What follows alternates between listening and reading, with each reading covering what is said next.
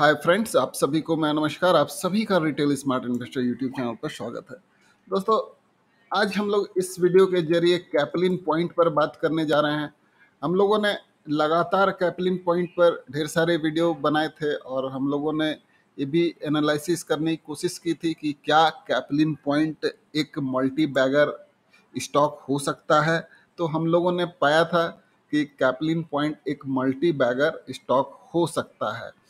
अगर हम लोग देखें दोस्तों, यहाँ पर देखिए, यहाँ साफ़ साफ़ देखने को मिल रहा है, can Caplin Point be next multibagger ये हम लोगों ने ट्वेंटी नाइन्थ जून को वीडियो बनाया था, उसके बाद इसमें ब्रेकआउट देखने को मिला था और उसके बाद फिर वीडियो बनाया गया था, बोला था रॉकेट बनेगा। अब रॉकेट बन गया है तो अब आगे क्या हो सकता है, इस पर भी हम लोगों ने इसके टारगेट की चर्चा की थी। वो टारगेट क्या थे, वो हम लोग इस वीडियो के आगे देखेंगे। तो यहाँ पर हम लोग देख रहे हैं दोस्तों कि हम लोगों ने समय समय पर लगातार कैपलिन पॉइंट पर चर्चाएँ की थी डिस्कशन किया था और हर डिस्कशन में यही पाया था कि कैपलिन पॉइंट एक मल्टी बैगर स्टॉक बन सकता है। और आज हम लोग देख रहे हैं दोस्तों कि कैपलिन पॉइंट 20 परसेंट के अपर सर्किट पर जा करके बंद होता हुआ देखने को मिल रहा है। तो दोस्तों इस वीडियो को आगे बढ़ाने से पहले मैं चाहूँगा कि अगर आप मेरे चैनल पर फ़र्स्ट टाइम आए हो तो फटाफट मेरे चैनल को सब्सक्राइब कर लें। मैं इस प्रकार के इंटरेस्टिंग और इन्फॉर्मेटिव वीडियो एनालिटिकल वे में आप व्यूअर्स के साथ शेयर करता रहता हूँ retail smart investor YouTube channel के माध्यम से। और मेरी कोशिश रहती है कि एक आम आदमी की भाषा में सारे टेक्निकल टर्म को अवॉइड करते हुए ऐसी जानकारी आपके सामने प्रस्तुत करूँ कि आपको सीधे सीधे समझ में आ जाए। आप शेयर के बारे में कुछ जानते हो या नहीं जानते हो, आपको टेक्निकल एनालिसिस आता हो, नहीं आता हो फंडामेंटल आप जानते हो या नहीं जानते हो, इससे कोई मतलब नहीं है। मेरी वीडियो आपको समझ में आ जानी चाहिए।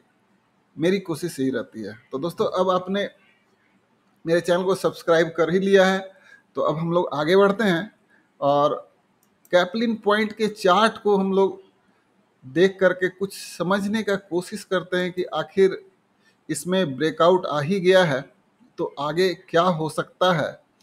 तो यहाँ पर देखिए दोस्तों कि लॉन्गर पीरियड में कैपलिन पॉइंट का जो ट्रेंड है प्राइस ट्रेंड है, वो अपर ट्रेंड में जा चुका है। और कैपलिन पॉइंट के जो प्रीवियस लाइफ हाई थे उस स्तर से काफ़ी ऊपर निकल चुका है, यानी इसने ब्रेकआउट दे दिया है और आज ये 950 के लेवल पर क्लोजिंग दिया है।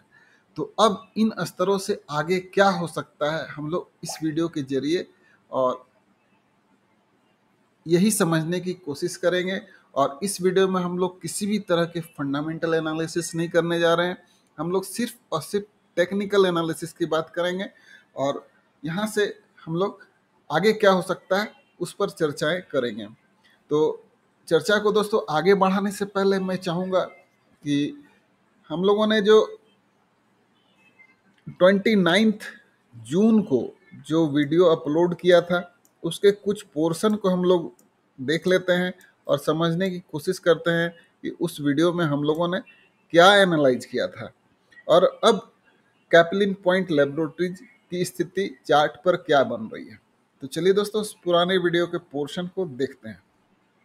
अच्छे ढंग से बिज़नेस को ग्रो कर पा रही है, इसकी वजह से इसके सारे पैरामीटर्स काफ़ी अच्छे देखने को मिल रहे हैं और डिविडेंड भी ये कंपनी लगातार डिस्ट्रीब्यूट कर रही है। तो ये बहुत ही अच्छी कंपनी है और हम लोग ये उम्मीद करेंगे कि ये शेयर इन स्तरों से भी काफ़ी ऊपर जा कर के ट्रेड करेगा। अब हम लोग सीधे आ जाते हैं इसके टेक्निकल चार्ट पर। कि यहाँ पर क्या स्थिति बन रही है।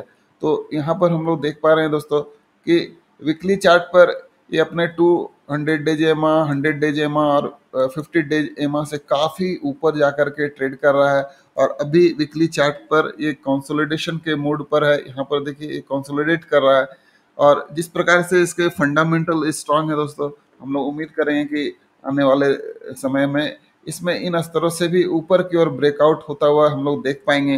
और जो इमीडिएट हम लोगों को टारगेट देखने को मिल सकता है इस स्टॉक में। उसके लिए हम लोगों को कुछ रेसिस्टेंस एंड सपोर्ट ड्रॉ करने पड़ेंगे तो उसको हम लोग ड्रॉ कर लेते हैं। तो यहाँ पर देखिए, एक हम लोगों ने लाइन खींच लिया। तो ये 732 का जो लेवल है दोस्तों, ये इस स्टॉक के लिए काफ़ी स्ट्रांग रेसिस्टेंस का काम करेगा आने वाले दिनों में। लेकिन ये इस लेवल को ज़रूर तोड़ करके ऊपर निकलने की कोशिश करेगा, ऐसा हम लोग पूरे विश्वास के साथ कर सकते हैं। अब दोस्तों, जब ये तोड़ के ऊपर जाएगा तो ये स्टॉक कहाँ तक जा सकता है? तो इसके लिए हम लोगों को फर्दर और कुछ technical support and resistance draw करने पड़ेंगे। उसके बाद फिर हम लोग वापस इस चार्ट पर चर्चा करेंगे।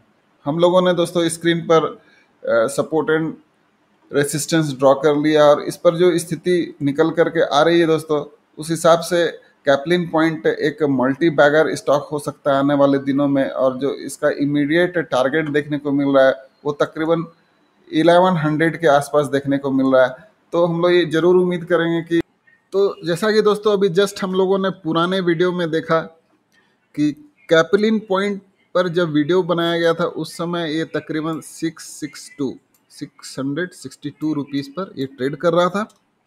और अगर चार्ट में स्थिति समझने की कोशिश करें तो उस समय चार्ट में यहाँ पर था। ये देखिए, ये हम लोगों ने यहाँ पर राउंड कर दिया। इन्हीं स्तरों पर ये ट्रेड कर रहा था।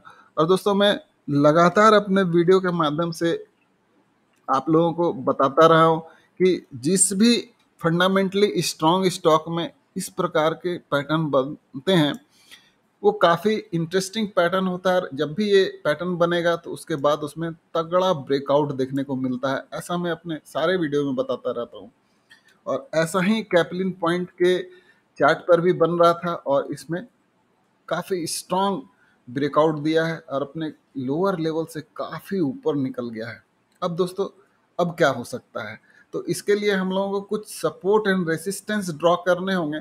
उसके बाद फिर हम लोग फर्दर इसके टारगेट को लगाने की कोशिश करेंगे। हालाँकि अभी हम लोगों ने पुराने वीडियो में देखा है कि हम लोगों ने 1100 के टारगेट को लेके चला था और अभी ये काफ़ी कम समय में 950 के टारगेट पर पहुँच चुका है। तो 1100 का टारगेट ये कभी भी अचीव कर सकता है, लेकिन 1100 के टारगेट के बाद और इसमें कौन से टारगेट देखने को मिल सकते हैं, उस पर भी हम लोग चर्चा कर लेते हैं। दोस्तों, हम लोगों ने वीकली चार्ट के ऊपर कुछ सपोर्ट एंड रेसिस्टेंस ड्रॉ कर लिए हैं और आप इससे सपोर्ट एंड रेसिस्टेंस को क्लियरली देख पा रहे हैं। तो अब यहाँ पर क्या स्थिति बन रही है? तो हम लोग दोस्तों देख पा रहे हैं कि 933 का जो लेवल था, वो कैपलिन पॉइंट लेबोरेटरीज के लिए काफ़ी स्ट्रॉन्ग रेसिस्टेंस का काम कर रहा था और ये स्टॉक इस स्तर से ऊपर जा कर के बंद हुआ है। यानी कि अब 933 का जो लेवल है कैपलिन पॉइंट लेबोरेटरीज के लिए स्ट्रॉन्ग सपोर्ट का काम करेगा। तो टारगेट कहाँ तक देखने को मिल सकते हैं दोस्तों? तो दोस्तों टारगेट जो अब निकल करके आ रहा है हम लोगों के सामने, वो तकरीबन 1398 रुपीस का देखने को मिल रहा है। यानी कि ये स्टॉक तकरीबन 1400 के स्तर पर जाने की क्षमता अब बना चुका है। और जिस प्रकार से इसमें तेज़ी चल रही है, ये 1100 के पिछले टारगेट को ये अवश्य ही मीट करेगी, ऐसा हम लोग पूरे विश्वास के साथ कह सकते हैं। और ये जो दोस्तों 1400 का टारगेट है, ये भी हम लोग कुछ महीनों बाद आता हुआ इस स्टॉक में अवश्य देख पाएँगे, ऐसा हम लोग पूरे विश्वास के साथ कह सकते हैं क्योंकि इसके फंडामेंटल्स काफ़ी स्ट्रांग है और काफ़ी तगड़ा सेट ऑफ़ नंबर्स ये लगातार कंपनी पोस्ट करती आई है और आगे भी इसके रिज़ल्ट शानदार रहने की संभावनाएँ हैं।